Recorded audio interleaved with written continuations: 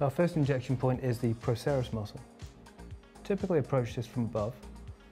We introduce the needle just through the surface of the skin, typically a depth of, what, four millimeters or so each time? It's about half the depth of the needle. We slowly inject about 0.1 mils, which corresponds with this uh, Xeomin in the standard dilution to four units toxin. The second injection points are the heads of the corrugator muscles. To do these, again, I lift them off the bone slightly between my finger and thumb.